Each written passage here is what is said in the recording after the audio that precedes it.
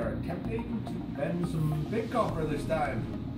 We have a pipe bender right here, good for a half inch and three quarter inch EMT. I have some M-type copper pipe that we are going to fill with salt. The sugar didn't work last time on the small stuff.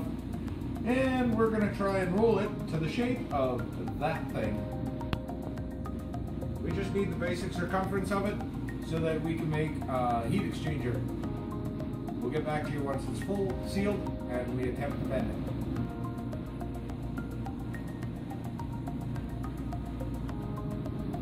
it. Okay guys, we're gonna attempt to bend this pipe.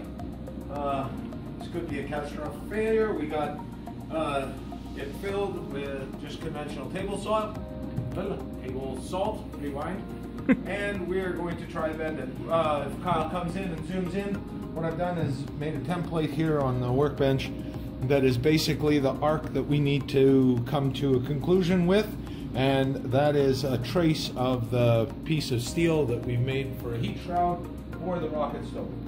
So inevitably we need two of these rolled into that shape and so we're going to give it a try. So, uh, just conventional pipe bending. It slides in.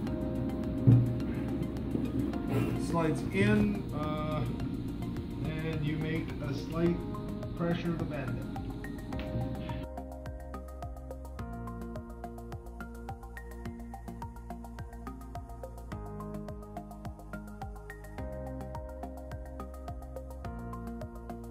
we go over length, as long as our arc is close, going over length is fine.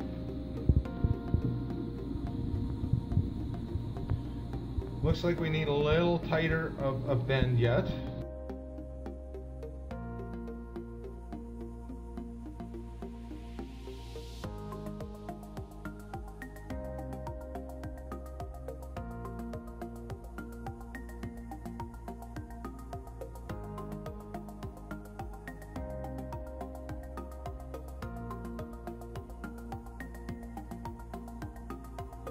Hey guys, we're back.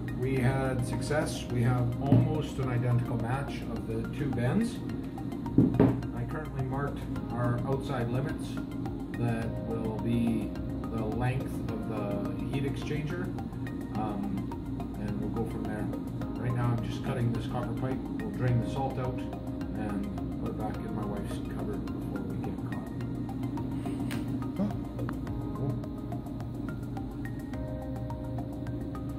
we need a container or something.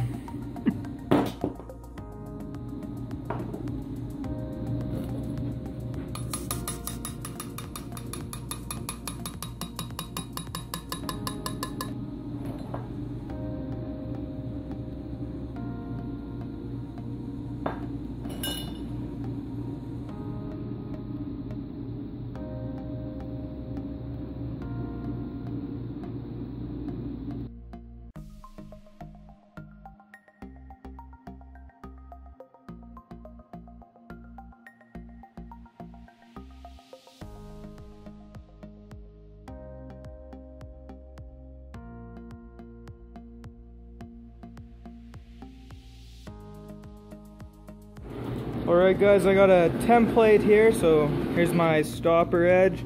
I measured out 28 inches. I'm gonna cut 18 pieces of the straight half inch pipe at 28 inches. Hey guys, right now we are straightening our heat exchanger return line and uh, trying to fit them into the holes that we drilled. As you see, we got our holes drilled in the plenum that fits within our heat exchanger shield. And we started soldering some of them just to see how it would work. And uh, again, it's not the prettiest soldering job, but it will suffice. I think they are sealed and we'll go from there. As we keep going, we'll give you updates.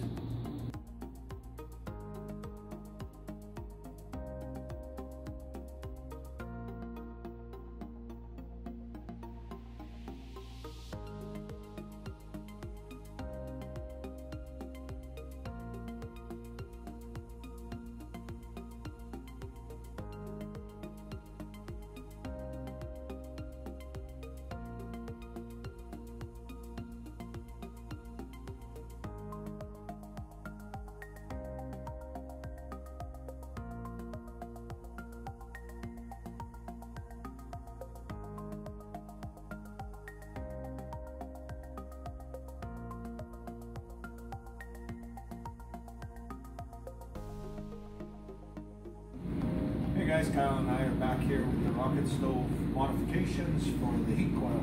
We added our last pieces of pipe and got it watertight. So what we did is we went around all the joints with some soap water and put pressure on the pipe with a compressor and just watched for air bubbles. We found probably a dozen of them because my soldering is not all that pristine and as you can see it's not pretty but it's hiding so it's not a big deal.